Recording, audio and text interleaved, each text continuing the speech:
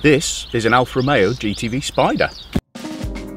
It was designed by Enrico Fumia at Pininfarina back in 1988 and it was completed by Centro Stile Alfa Romeo under Walter de Silva who, who you may remember also designed the 156, another one of my favourite cars.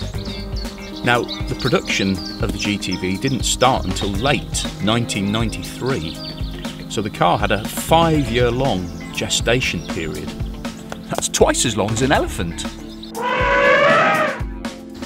So the first cars to be built were, were all V6 Spiders for the 1994 Paris Motor Show, but uh, you had to wait until after the Geneva Motor Show in March 1995 before you could actually buy a GTV.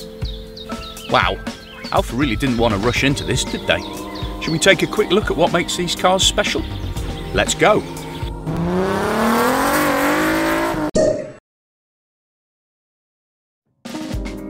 The GTV won 10 prestigious international awards, including the world's most beautiful automobile and Car of the Year. And it was a commercial success with almost 80,000 examples being built in total. Now in 2002 this 3 litre V6 Spider cost £28,000, which is the equivalent of around 45,000 quid today, which made it quite an expensive car to buy. For a two-seater sports car, it was also quite heavy at 1420 kilos. If you compare it to a 2002 Mazda MX-5, that weighed just 1065 kilos. It's like having two rather large people in the car with you. Of course, some of this weight is due to the most attractive feature of the Spider, the rightly famous 3-litre 24-valve V6 Busso engine which Alfa Romeo's engineers literally shoehorned into the tiny engine bay. This V6 was first developed in the early 70s by Giuseppe Busso, a self-taught but brilliant engineer. And the first modern version of the engine to use double overhead camshafts was in the 1993 Alfa 164. And the way this engine sounds helped to define the legendary image of sporting Alfas from the 1970s right up to the mid 2000s. It's simply epic.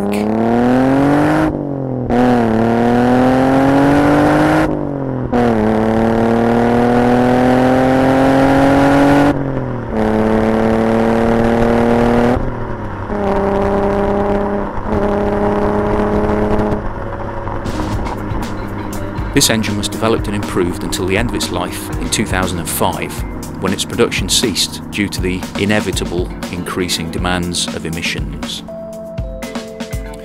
And in a sad but pretty poetic conclusion, Giuseppe Busso died just a few days after the last example of his fabulous V6 was built at the Arese plant in Milan.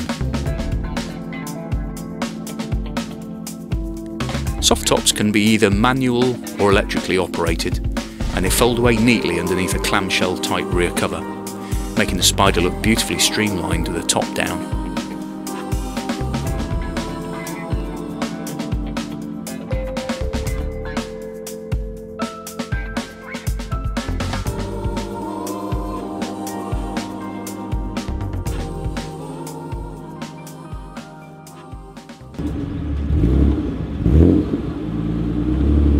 Considering that the GTV is actually front wheel drive, how does it feel behind the wheel?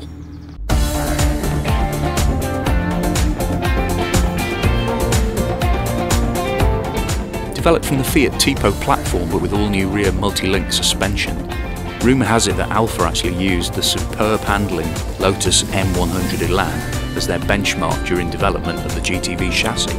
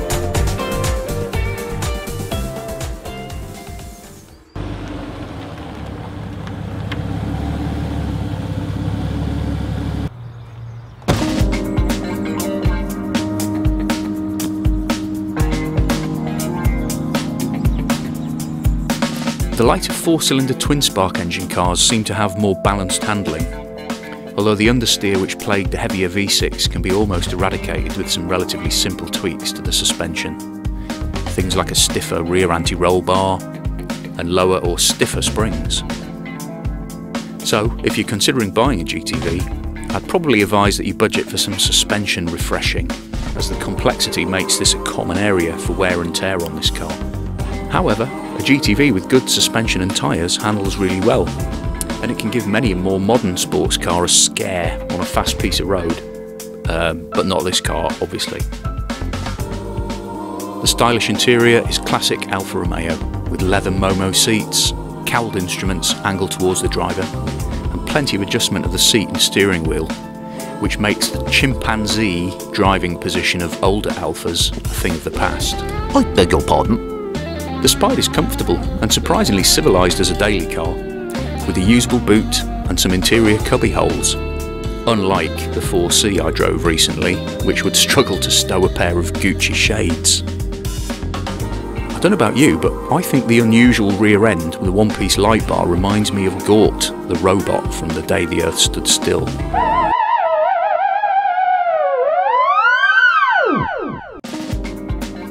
GTV and Spider are great looking cars in my opinion, and now that a significant number of years have passed since they first appeared, I think it's pretty clear that the days of picking up a good car for peanuts is definitely over. The grand old tradition of all Alfas appreciating in value eventually is now in full effect, and good examples have been quietly rising in value. V6 Spiders like this one are now getting in the same ballpark as 156 and 147 GTAs, and they're heading for the £10,000 mark.